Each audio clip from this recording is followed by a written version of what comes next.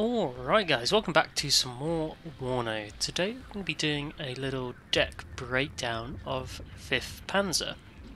Now at the moment in this uh, current meta it's not really one of the top divisions, but we're still going to go over it anyway because I've been enjoying playing it at the moment. I think with a few changes coming up it could be a bit of a stronger division. So we're going to run through all of the tabs and like a standard kind of build and then looking ahead, we can look at a few different builds you could maybe make up and uh, create with it. And uh, yeah, we'll get started on the logistics tab. So, uh, pretty standard. Got the field depot M577, which is your more armoured CV, to availability 8 points. Got the Iltisführung, so your Jeep CVs, pretty standard to a lot of divisions, but you got good speed on them and free availability, which is a massive bonus. Now you've also got the Fuchsführer. Uh, this is a really handy unit. You can see it's got smoke on the side, which is really helpful to have. You've got good speed, it's amphibious, it's got medium MG, which doesn't really count for much, but having uh, a little bit of armor and the speed is nice. So what I'd usually do in terms of CVs is I would take the Iltisführung and a Fuchsführer, so I've got five in the Logi tab. And then for our supply component, I'll usually end up taking the standard like Unimog trucks, 500 points. Really handy if you get to your front lines and it's not too much of a cost investment, and then you can grab a Mancat as well. These guys obviously 80 points expensive, but 2,500 supply per card which is really nice to have, um, kind of the bigger ones, and you can ferry supplies from these using the Unimogs to your front line. Now of course this sometimes changes around, if you have plenty of CVs in your other tabs you can maybe drop the Fuchs and you can get out like another Mancat or you can go another Unimog, kind of more of a supply heavy build if you're planning on investing heavily into artillery. But for ranked play, I generally like to have plenty of CVs, so I can't run out and lose a game. Um, and this will be built for 1v1 deck. Okay, starting with the infantry tab, uh, we've got a few different options here. It's not an extensive amount of units, but we've got a decent amount of slots, four 1.1s, and we make good use of them. Now, specifically for this matter at the moment, it's more about getting infantry out in the field, and that is going to affect how we build this tab. We'll kind of run down the units from the top to start with though. So we've got Feldjäger here, kind of standard military police unit. Only four men got the uh, MP5, which is a really nice weapon, but not really great when there's only four of them. However, you've got the military police trait, so it's really good for suppression regeneration bonus, which compare quite nicely with your heavier tanks. So it's definitely something to consider. Down here you got the MG3. Um, I don't really touch this to be honest. The ground range is nice, but with so little damage and suppression and not great accuracy, uh, I don't think this is worth it at all. Maybe later on they could be. Maybe being able to target helicopters or something, it might be a little bit better, but for the moment, I would avoid this unit. Uh, we've got the CVs now, so we'll run these all over together and we can just compare them a little bit. So first off, we got the Panzergrenadier, which obviously got AT and AA and 6 man strength. So honestly, it's pretty good. You do pay for it though, 100 points.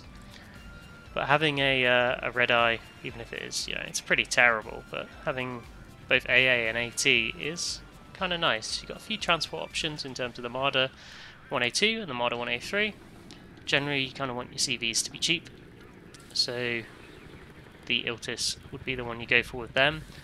However, we look down here at the Jägerführer, obviously only four men in the squad, but you do get a nice Carl Gustav, 750 meter range, 16 pen, and these guys are fairly expensive. I mean, 15 points more.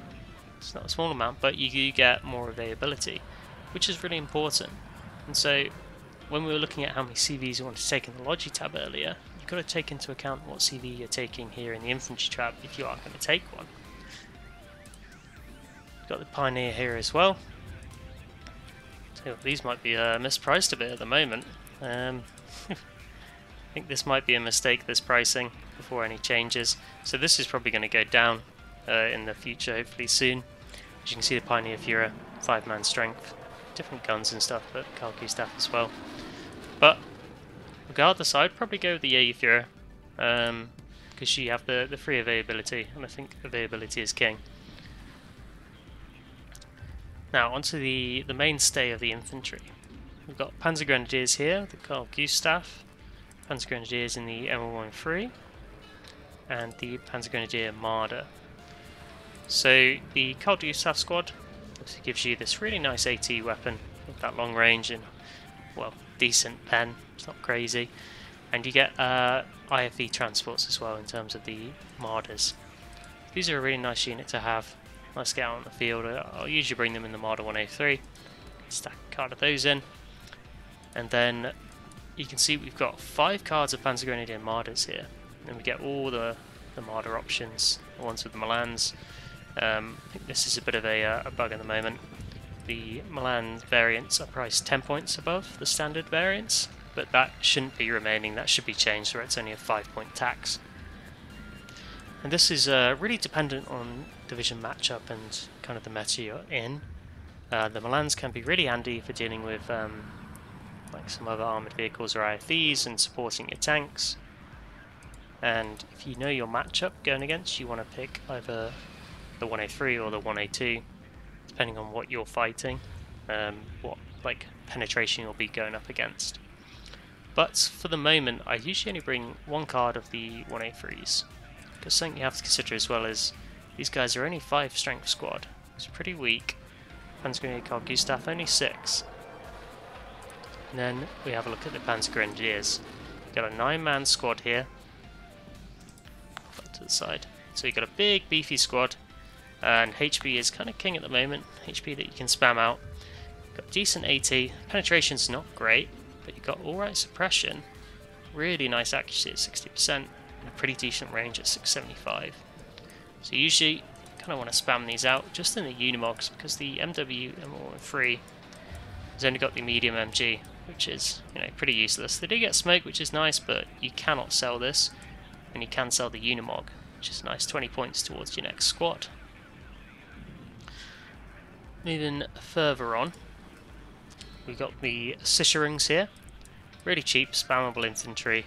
Um, Obviously these guys are at the poor experience, so you can see the stat debuffs they get there.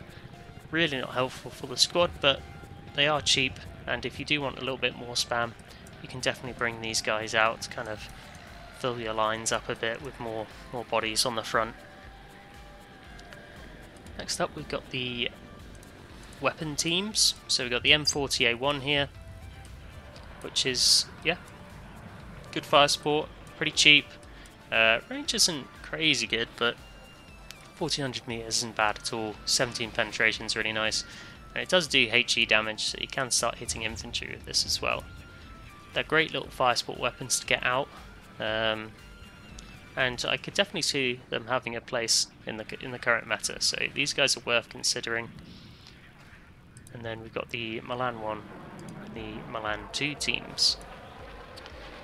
Now, for these units, Milan 1 is really cheap, and it's actually, yeah, not too bad to get it out, but I generally wouldn't consider it in this division, especially when you have access to the Marders with Milans. Um, I just don't think these are worth it for what you get, which isn't a lot. Uh, maybe in the future, but for the moment, definitely not.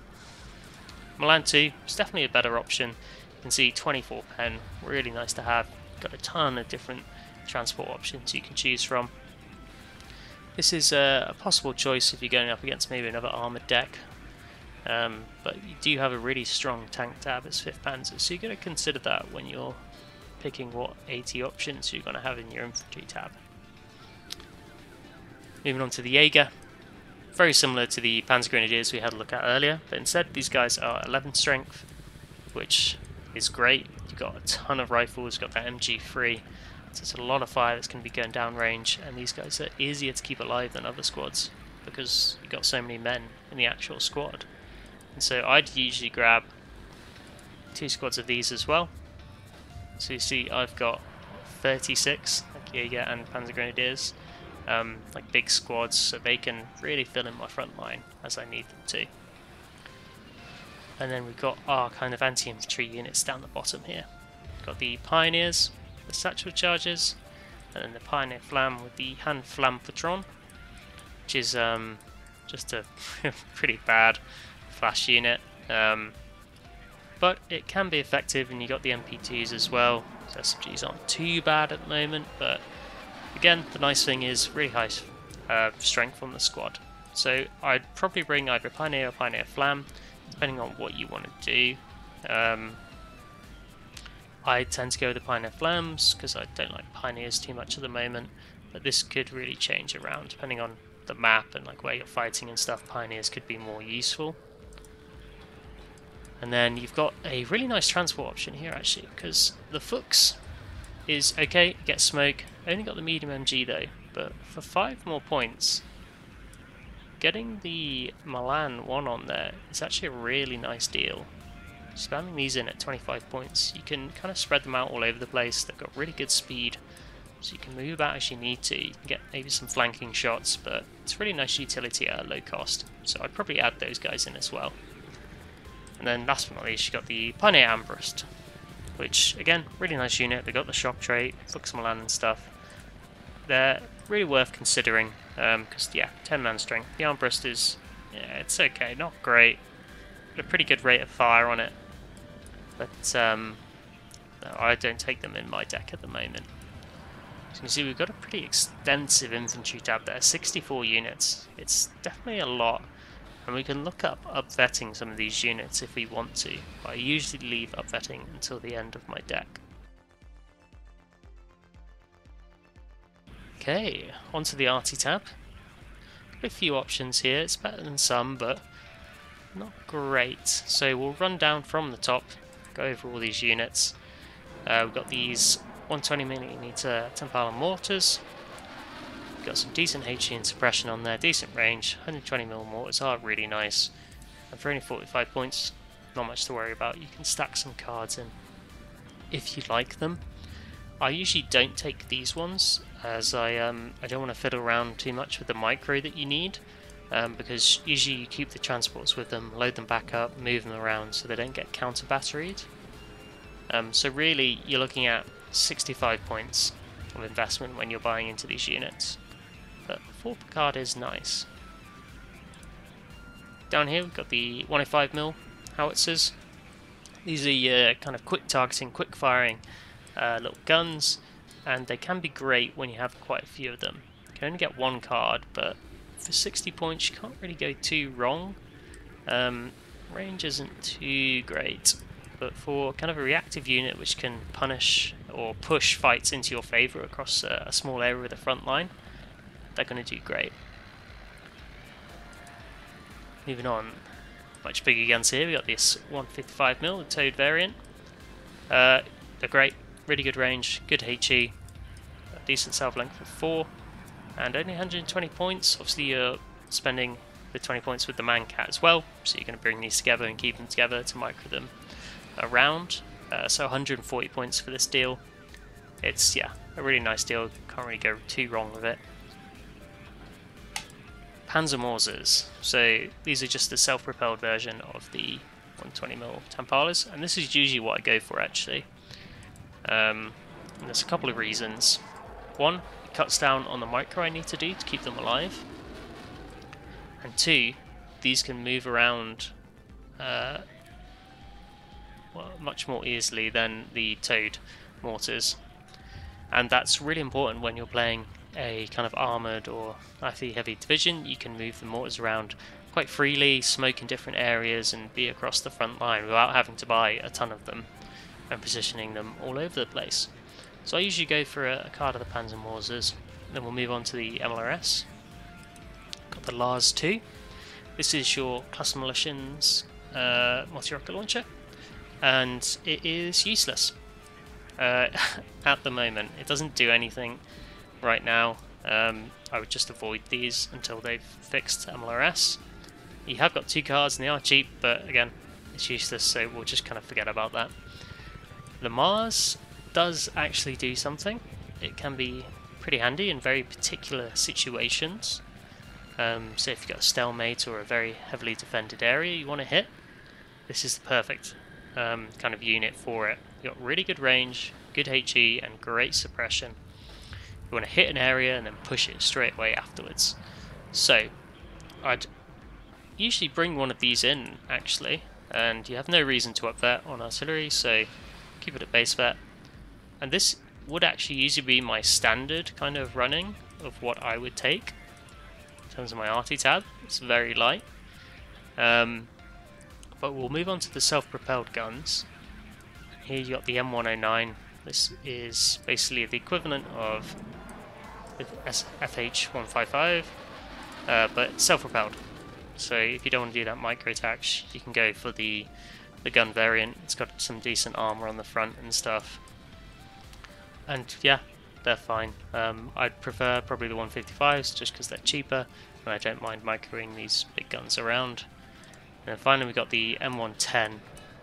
Um, these guys are they're okay. Uh, nothing too special. Uh, obviously pretty good HE, but kind of got a small salvo length of 3, very low ammo. Um, I just I don't think they're as effective as other units, and only one per card is, is pretty rough. If you bring two of them and get them out as a pair, like maybe, but that's such a big investment in kind of activation points and points in the game. Um, I don't think they're worth it at the moment. So this would be what I would run in my artillery. Okay, starting on the tanks. So again, we'll run from top to bottom. Starting off the M48. Uh, your cheap, spammy tanks. Uh, they're not great, but they do help out a lot in this matter because getting cheap fire support is very important at the moment. See, they've got this reservist trait, which is not good at all. They uh, just take more suppression and can get routed kind of easily, but you're not too bothered because they haven't got a lot of armor. They're probably going to die pretty soon. Uh, nah, you don't really mind too much. And You can always stick some Feldjägers with them if you bring them. So M48s are great, great to bring in. You've got 12 per card, so you can kind of whack some of those guys in um, to give you that fire support you need across the front line. Next up, we've got the Leopard 1A1A1s. Um, these guys are kind of like the glass cannon units and this goes for both the Leopard ones. 16 pens, really nice. Range isn't great at 2100 meters, and 7 armor is really not good for a tank. But in groups, these guys can be pretty effective with that 50% accuracy. Obviously, that's got scaling on it too. And these can be a nice unit to spam out as well. Unfortunately, you don't get any heavy MG, only two of the uh, the medium ones. So for the moment, I don't take them in this deck, mainly because the fire support from the M48 is just that much better. Moving on to the ATGM vehicles, um, they're not great. You're paying 95 points for a very expensive uh, ATGM, which is okay. Um, nothing really to write home about. The free armor on the front is nice. You can survive some shots, try and retreat out there, but I definitely wouldn't recommend the Jaguar 1. Jaguar 2's uh, definitely a bit better because you get the, the TOW 2, 25 pen, 65% accuracy, obviously a really nice ATGM, but 105 points it is expensive, and I just don't think you get enough value out of it really. Next up we've got the Leopard 1A5s, and we've got our CV tank here, and this Leopard 1A5, 2 per card, which is obviously really nice availability on this. So I usually grab a card of those. I think that puts our CVs up to 10, which is loads, probably more than a lot of people take, but I think it's worthwhile. You can always sacrifice one or two if you need to get more of a single type of unit in. And then we've got the standard 1A5s. These guys obviously have got 60% accuracy, which is really nice. Decent motion accuracy, only 10% loss there, and the full range, which is super helpful because at 2100 meters they'll have 17 penetration, so a little bit more than the 1A 1A1s. Uh, and these guys are really nice to have, kind of that mediocre fire support, and can help you deal with kind of the medium or even heavy tanks if you mic them correctly. So I usually put a card of those in, and then here we get to the big boys. The Leopard 2A3s and 4s. So we've got the CV tank to start with. I don't bring this in, 300 points is quite a lot, and one per card. I've already got enough CVs everywhere else. I, I don't want to be spending that much on the on a CV. So we go straight to the standard Leopard 2A3. And I usually just kind of grab all the cards of these. And I would up upvet them as well. With heavy tanks, you kind of want to have like a minimum of 2 vet. It's just not worth it on the belt on veterancy. The decreases you get from cohesion and suppression are just too brutal for an expensive unit to be worthwhile. So let's have a little look at the 2A3. You got some really nice front armor at 19, good penetration on that gun, good accuracy at 60%, most importantly, motion accuracy also matches at 60%. This means you're not going to lose any accuracy when you're on the move. And so having these guys roaming about, and if you can keep on top of the micro, you can move them backwards and forwards into like firing range and out firing range and keep them moving all the time, and you'll stay accurate. Obviously that takes micro, and if you can be on top of it, it can be super helpful for maneuver warfare and swift attacks, coming out of cover, reversing back into cover, like all these little things which the 2A3 is really capable of. It's kind of worth exploring and exploiting the uh, the benefit of that stabilizer. So yep, we've got plenty of those, and then I usually, just for the memes, grab a 2A4 card as well. Um, obviously we can compare this to, to A3. You've basically just got a bump in the armor, penetration, and accuracy. So uh, we'll put it at base so we can compare properly. Um, so 5% boost for the static and motion accuracy, and then 1 for armor and 1 for penetration. And so 21 pen is really nice to get. Um, you're going to be facing up against pretty much every tank in the game. You can do alright. And then 20 front armor as well. It's really nice. But weirdly enough, you can go to 2 vet and then up to elite, which gives you 10 rate of fire and 71% accuracy, including the motion accuracy, which is insane. Like you can just keep this thing moving all the time, and it is never missing. Whereas on uh, Elite for the 2A3s, 66%, pretty damn good. 62%, like 2 vet. But um, yeah, this is the real heavy hitter. I usually don't bring it in that much, only in very specific circumstances or I'm just winning loads, but it's a fun unit to have about, so I put it in the deck. Okay, Recon.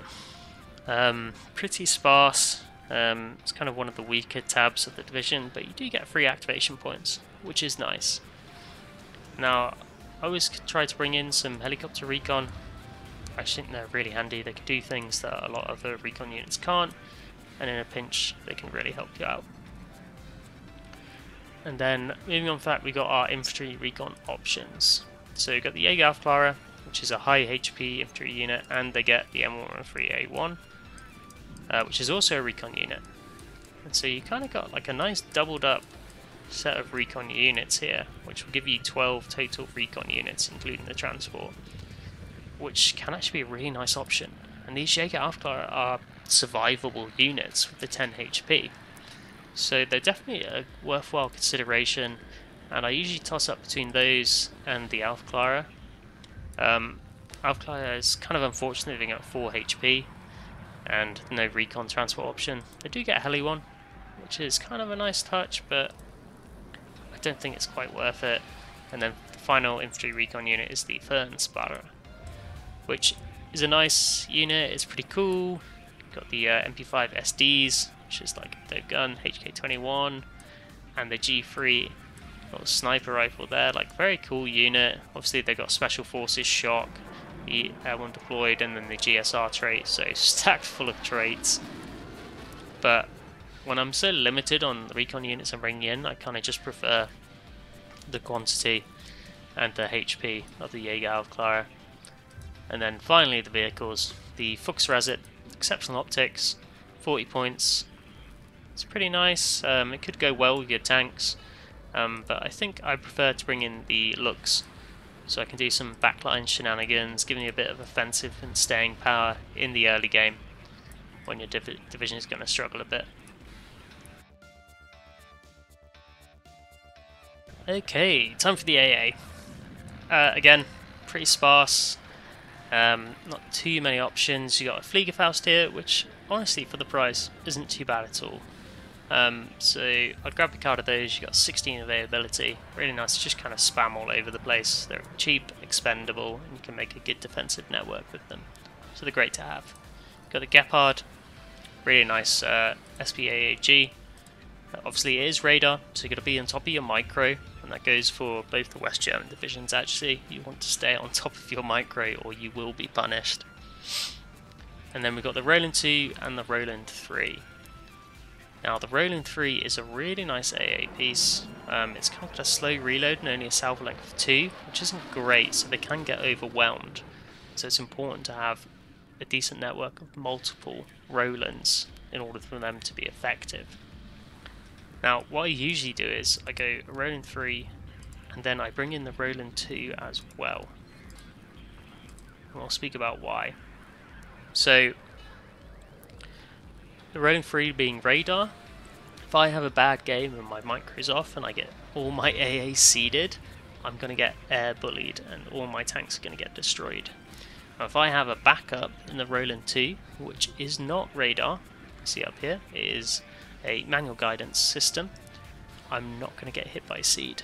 And having that paired with the Roland 3 is actually really nice. A little bit cheaper, still a really good missile, uh, and it's got a good salvo. Well, same salvo length, it's not great, but enough of these out and you're going to do well. So usually I'd get these guys in and I just upvet them, and I do that because I'm not gonna, I'm not gonna buy six Roland twos. If I do, I've done something very wrong. And the same, I'm not going to buy four Roland 3s if I got Roland 2s as well. So I might as well just up that. You get a tiny little bit of boost on these stats, it's not too important. But you take anything you can get, especially if you're not going to spend the money on all of them. Next up, we've got the helicopter tabs. So here, uh, again, not a lot of options. We've got these bow, bow pars um, with the hot one and the hot two. Uh, yeah, they're a decent option. Again, you're not lacking for dealing with tanks in this division. You've got your two A3s, um, you got your Marder Milans, your 1A1s, your 1A5s. So I just don't think these guys are really necessary to bring in. Instead, you probably want to go for the Apache. Obviously one per card and stuff, but it's a really nice unit to help you deal with stuff in your backlines or being offensive with it. I usually just bring one of those in for that one activation point slot because I want to use that up. And this just gives you a great unit for uh, kind of di diverse helicopter action and obviously you don't get a lot of them.